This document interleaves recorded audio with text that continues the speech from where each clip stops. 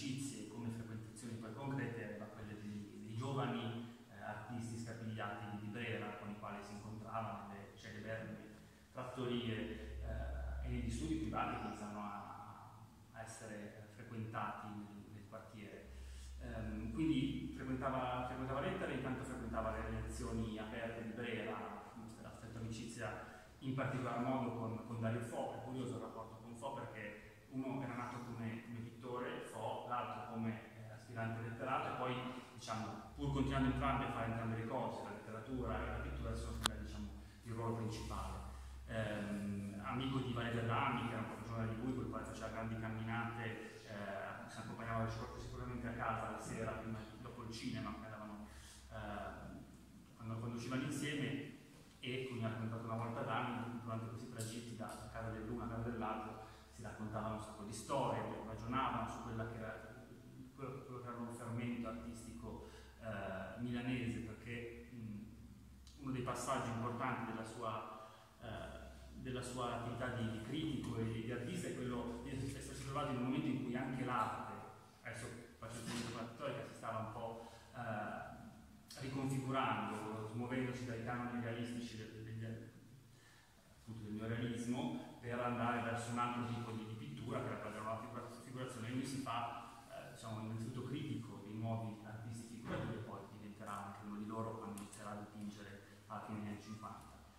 E parallelamente poi inizia anche, inizia anche a scrivere. La, la, pittura e la scrittura sono insieme nel,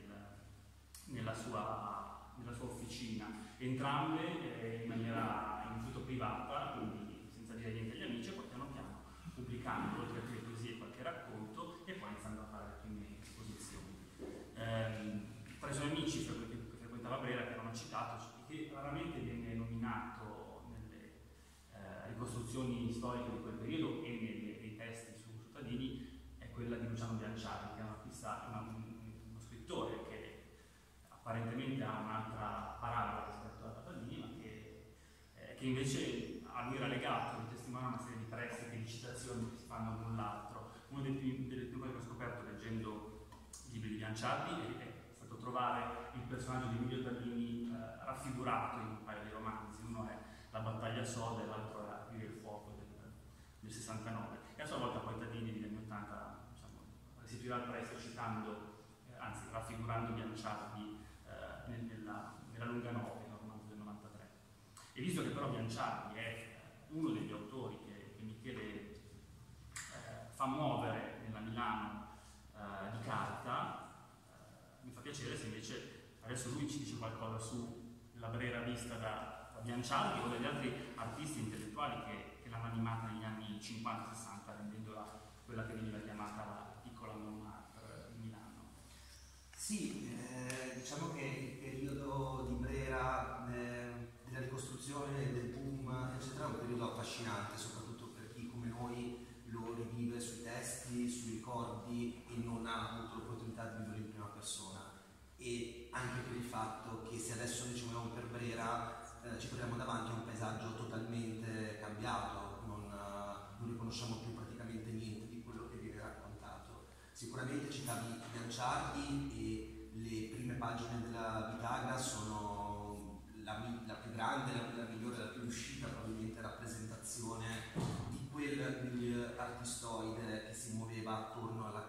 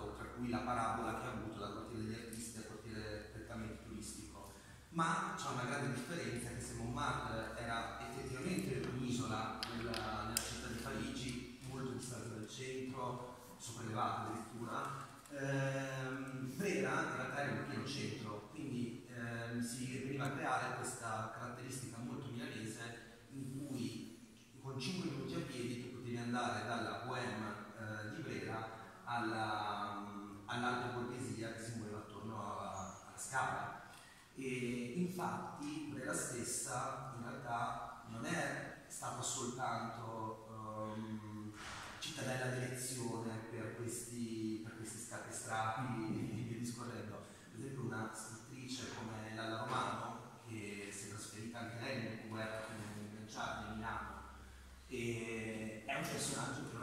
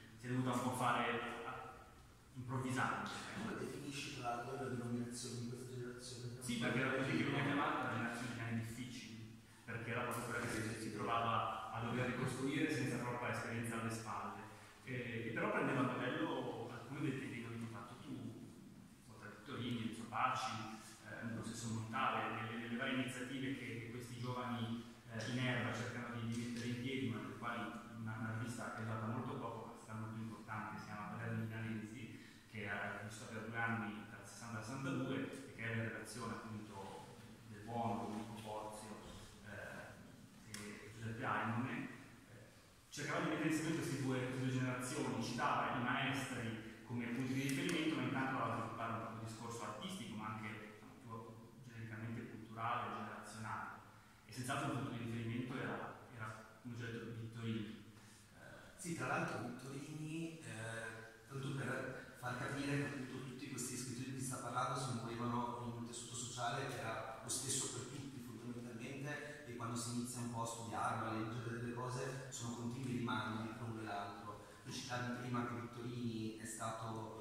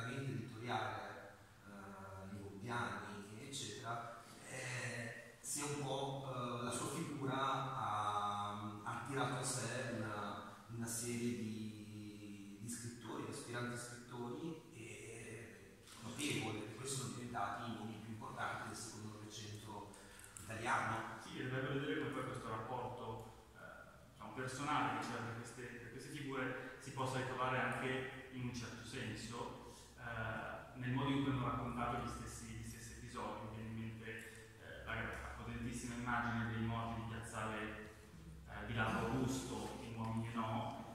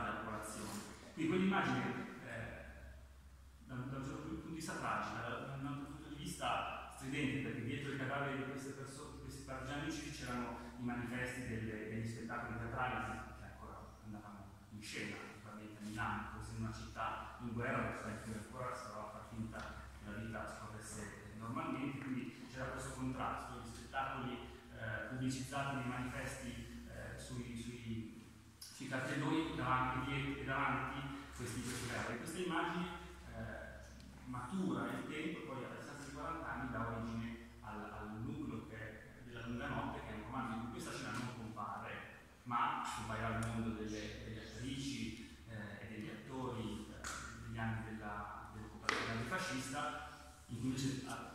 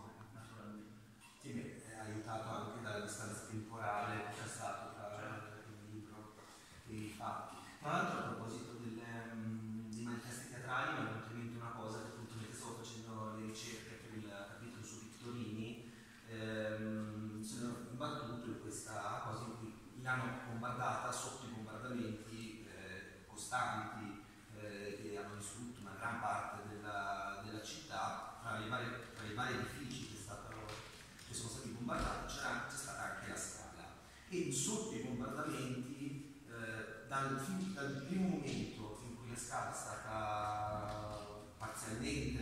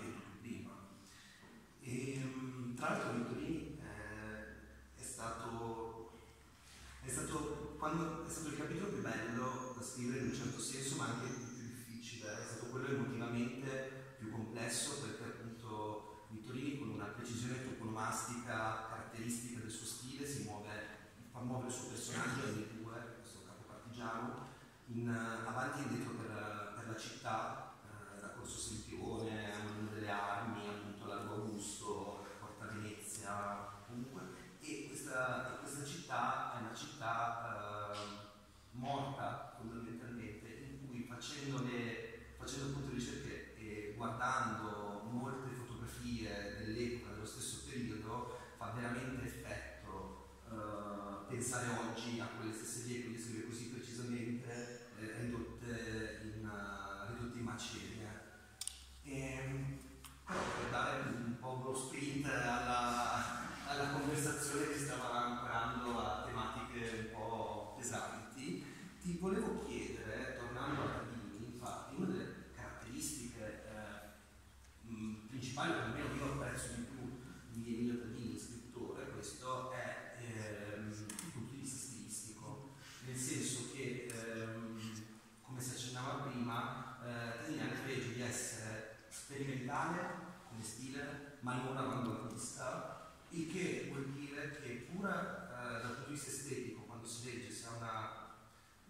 grandissimo riscontro eh, intellettuale, estetico, appunto vi dicendo, rimane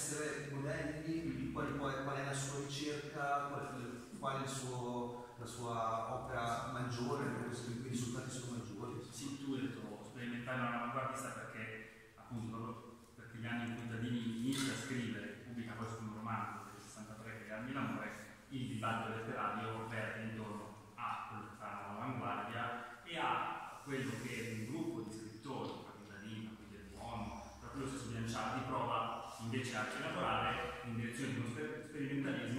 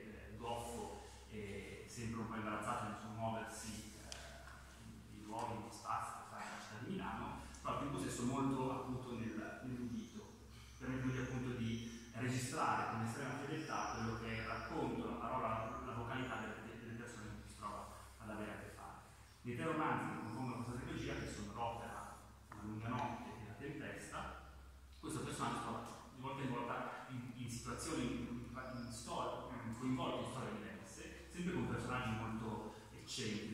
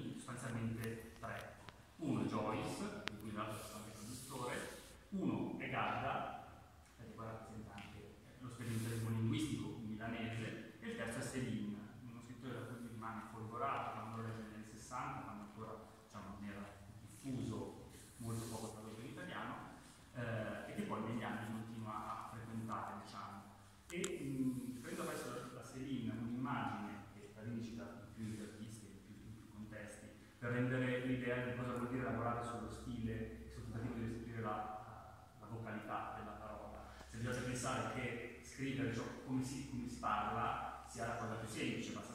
semplice, lineare, invece è un più difficile, perché se io faccio questa immagine, se mettiamo un bastoncino, una cannuccia all'interno di un bicchiere d'acqua, quello che è dritto ci apparirà per via della rifrazione prodotta dall'acqua spezzato, quindi la linearità del bastone nell'acqua eh, appare come una linea spezzata. Per fare in modo di rendere eh, la linearità della bacchetta dovremmo spezzarla e far sì che appaia agli occhi, allo sguardo, dello stesso lavoro che deve fare uno scrittore eh, per cercare di seguire quella apparente linearità, cioè lavorare, rendere eh, quanto più artificioso il linguaggio, quindi quanto più elaborato, per dare l'impressione di una, una spontaneità che effettivamente è poi la cifra di questi, eh, di questi romanzi. L'altro modello, dicevo, eh, è Gabra, che, che permette di, di, di muoversi anche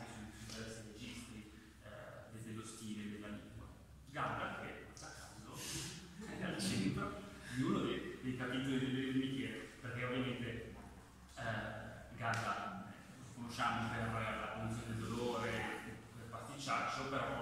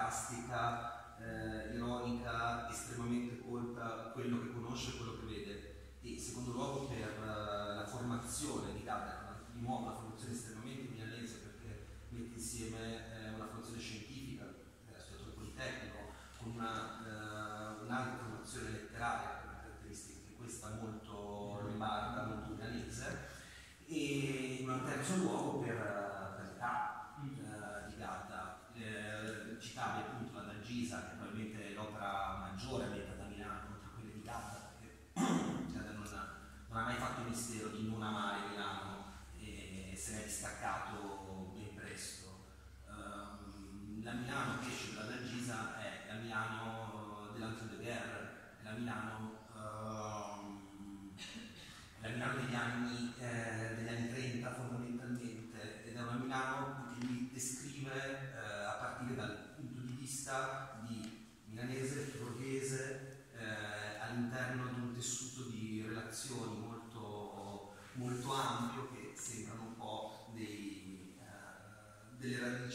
districabili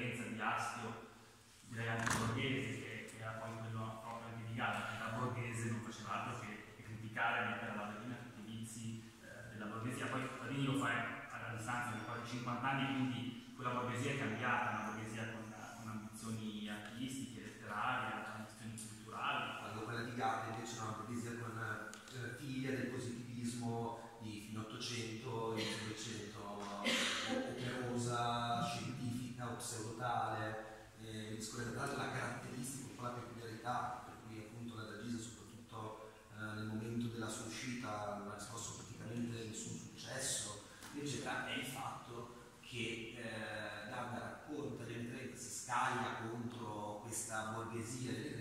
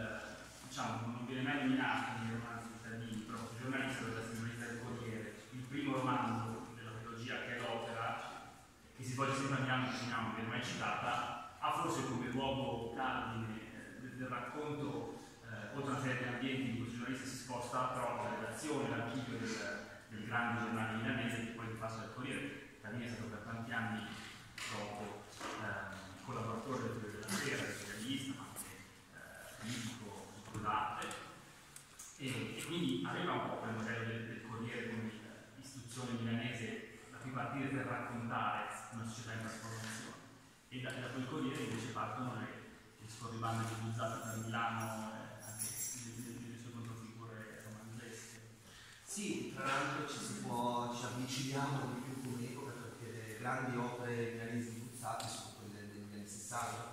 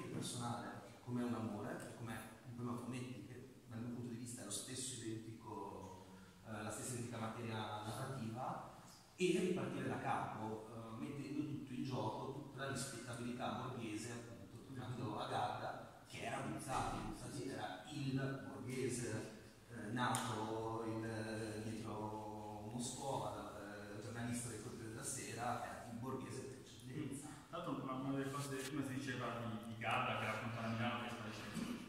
subito dopo cioè, di, di Torino, andiamo alla ricostruzione, raccontare Milano un amor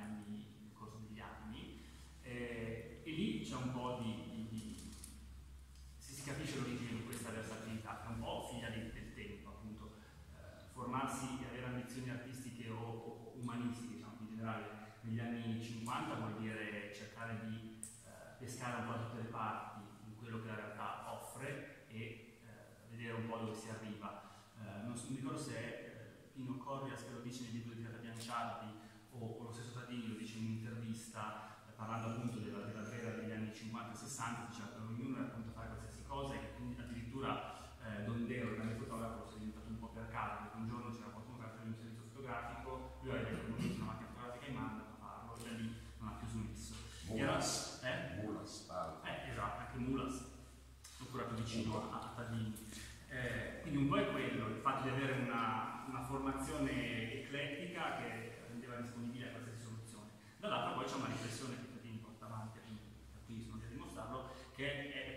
concettuale, quindi di carattere filosofico, epistemologico. Meina prima citava la distanza di questo saggio un po' strano che va costruito per aforismi che Tadini pubblica negli anni, negli anni 90, ma che in realtà tutta una serie di riflessioni che lui ha condotto nei decenni precedenti e che in modi diversi eh, poi trovano espressione nelle, nelle, pitture, nei romanzi, nella poesia di cui mi sono occupato, ma rapidamente proprio che ancora sarebbe da, eh, da indagare, dice, per chi si occupa di poesia, ad esempio. E, ehm, così come nella critica, dove, che è il primo mestiere che Tadini ha fatto, per la prima volta ha messo a confronto queste sue idee che stavano maturando, per fatto delle etichette teoriche anche abbastanza efficaci, il carisma integrale, con le opere degli altri. Una volta messe a confronto con, con le opere altrui, poi ha provato a, a cimentarsi in proprio e a, e a, vedere dove questo portava. Appunto, gli essi sembrano abbastanza distanti apparentemente, però in realtà a studiarli, come io ho provato a fare, eh, si riconosce uno, una, una matrice comune. Mm. Questo mi permette di chiederti un'altra cosa su cui volevo soffermarmi prima, ma poi il discorso appunto è divagato, tornando sempre dal punto di vista stilistico del Tadini romanziere, che come seguito sono un grande fan dei romanzi sperimentali ma non avanguardisti, e una cosa che mi ha interessato leggendo appunto quelle tre opere di cui si parlava prima, la trilogia del giornalista miope, è l'utilizzo che eh, Tadini fa anche di modelli eh, di genere, se vogliamo, eh, soprattutto il romanzo giallo, l'investigazione in un certo senso, eh, che sia nel primo ma anche e soprattutto nella tempesta, molto, con anche la figura del, del commissario, del lettura che quindi una cosa volevo chiederti proprio per curiosità personale qualcosa riferito al, al genere, all'innesto del genere, l'utilizzo del genere. E ehm, no, intanto dico io adesso vai. No, la questione di identità noi stiamo uh, parlando di romanzi senza citare eccetera, che è l'ultimo che esce nel 2002 e che, e che esce uh, poco dopo che, che Nino Tadini uh, muore, che, che, sviluppa un altro genere ancora che è quello del romanzo di, di viaggio. Um, no, invece nella trilogia sì, in effetti questo giornalista si, si, improvvisa invece ogni volta investigatore un po' per caso. Um, gli anni 80 e i primi 90 sono anni che nella storia letteraria contemporanea vanno sotto l'etichetta grossa del postmoderno, per cui non si, non si può scappare parlando di quegli anni, bisogna confrontarsi con quello. Tadini lo fa in maniera eh, originale, forse anche perché lo fa con una certa esperienza alle spalle, e, e quindi così come il postmoderno riprende i generi letterari, li usa, li trasforma, lui, lui a sua volta lo fa, eh, senza però quel piglio da, da, da citazionismo alla, al nome della rosa, se vogliamo prendere l'esempio più celebre, o alla eh, se non altro l'inverno un viaggiatore, ma lo fa utilizzando proprio come semplice quadro all'interno del quale può far muovere i personaggi in maniera eh, imprevedibile, perché appunto queste indagini, ad esempio nell'opera eh, che, che, il giornalista si mette a fare per un servizio giornalistico, non perché sia incaricato dalla polizia, eh, diventa una, una, una, ricerca al contrario, dove è l'assassino, un critico d'arte che ha prima inventato un artista e poi quando l'artista ha voluto prendersi meriti che non aveva, il critico ha deciso di ucciderlo e farlo scomparire, facendo vedere solo i testi che lui scriveva sulla sua opera. E questo critico che ha talmente tanta voglia di eh, celebrare la grandezza della sua opera, che arriva a dichiararsi al, al, giornalista, che sta, investi- al giornalista che sta eh, investigando su quel caso, perché, perché il,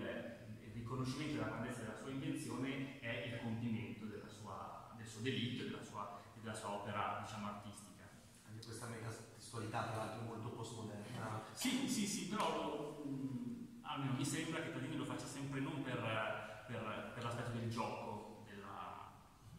appunto della, della, dell'ammiccamento metaletterario, ma più perché da un lato riesce a fotografare dei caratteri umani di cui mette, mette in luce la, ambizioni. Intanto c'è, c'è la questione di chi artista sia, un artista concettuale. Sì, no? certo. Beh, questo è determinante di in relazione al postmoderno, cioè è una specie di bonito di Mac. Sì, sì, sì, sì, sì, sì. no? È Sì, una c'è- parabola. C'è anche una parodia della, dei, Antichianza, dei critici demiurgici. Diciamolo al- alla, non necessariamente alla moneta oliva capaci cioè, di, di, di inventare con la bacchetta magica sì, sì, eh, sì. delle relazioni concettuali, per così dire linguisticamente in realtà inesistenti, se prendiamo la transavanguardia con la quale mio padre si dava conto, era esplicita, come categoria non sui singoli artisti che la componevano, ma come invenzione, come dire, in scatola, in vitro, che non reggeva, che non aveva fondamento. Allora la storia, questo giallo diventa, diventa una storia, come dire, nella storia dell'arte, dove il giornalista, guarda caso, colui che informa, mio padre aveva la mania, diceva anche l'ultima pagina del romanzo di Selin informa di qualcosa.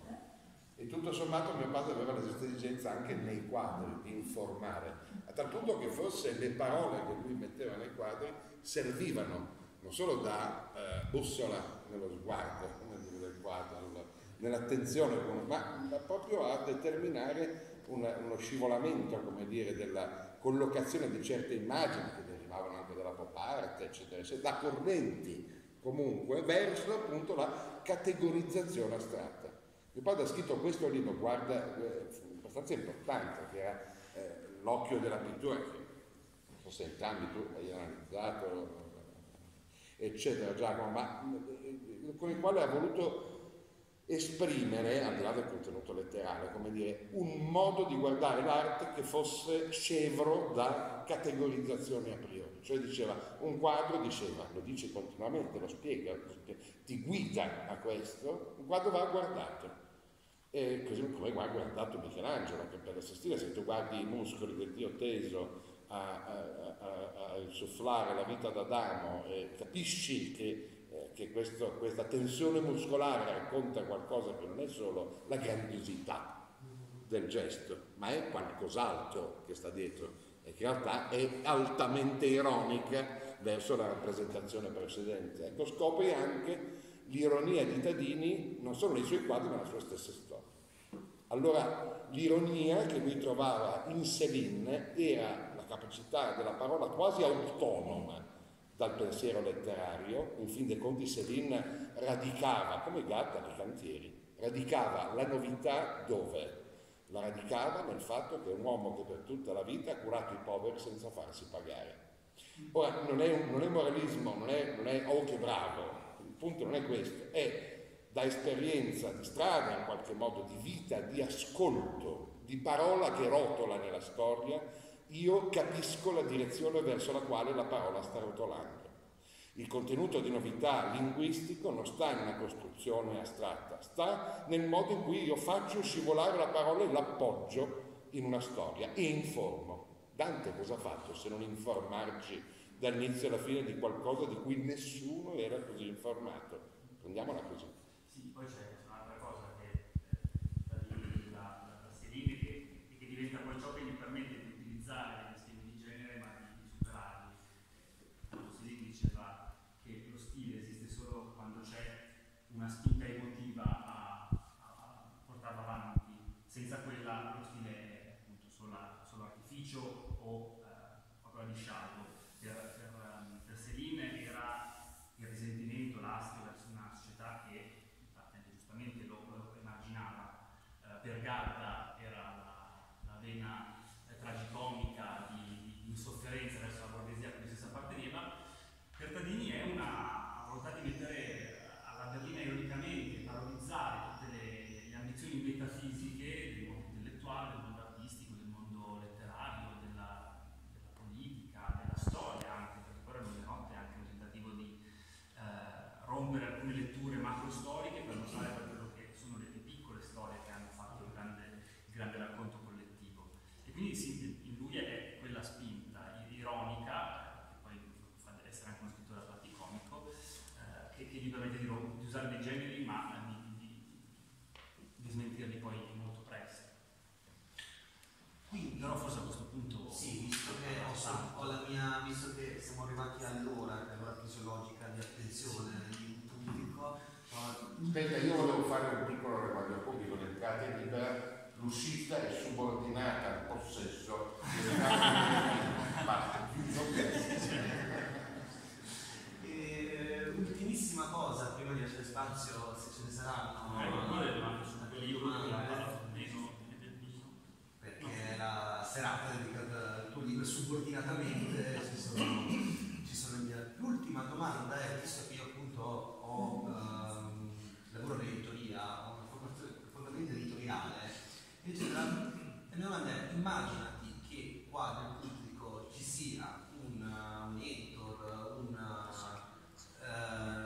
una persona che può scegliere di pubblicare le opere di Tadini che in questo momento non sono in, disponibili, perché se non sbaglio è disponibile soltanto purtroppo la luna notte,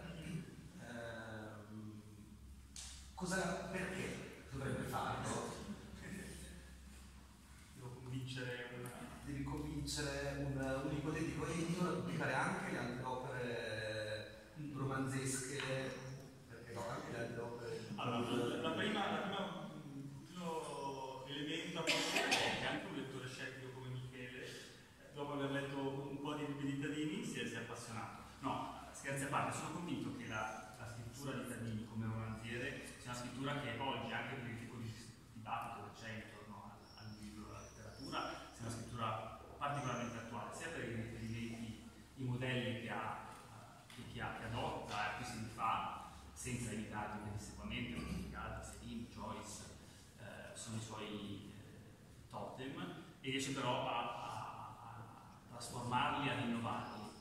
Quindi da un lato questo, quindi una scrittura estremamente attuale quanto a riferimenti e quanto, quanto a tipo di sperimentazione. Dall'altra una forte eh, vena narrativa, nel senso che i libri di i romanzi di Giuliano sono libri pieni di storie. Oltre alla storia principale, che, su cui si legge la, la trama, il fatto di aver creato di volta in volta dei personaggi, eh, come si potrebbe dire, auricolari, che sono poi dei, dei ricettori, eh, fa sì che questi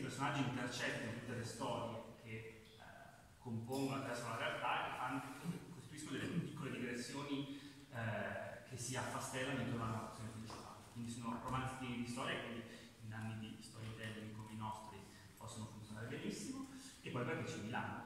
giustamente, eh, mai, mai, mai come adesso c'è la passione per, il racconto di Milano e eh, in tutti i libri di Tadini, anche nell'ultimo, in eccetera, che eh, è un racconto, è il racconto della storia di un gruppo di ragazzi che da Milano partono alla ricerca della, discoteca ideale, che si trova invece in Romagna, attraversano tutta la pianura padana, però nel costruire questi, questo paesaggio notturno padano molto eh, agli antipodi rispetto a Milano, si vede in, dire, in, in controluce una serie di caratteri che in tutti gli altri romanzi milanesi e che proliferano anche in un'altra ambientazione come, come quella di Ecce- di Eccetera. Quindi non, non c'è via, via di mezzo, non è che si pubblica qualche romanzo, uno o due, lo si deve pubblicare tutto, tutto insieme. Giusto, mi, mi sembra, mi sembra giusto. Mi è quasi convinto, anzi Sì. mi ero già convinto precedentemente, purtroppo non, eh, non lo posso fare,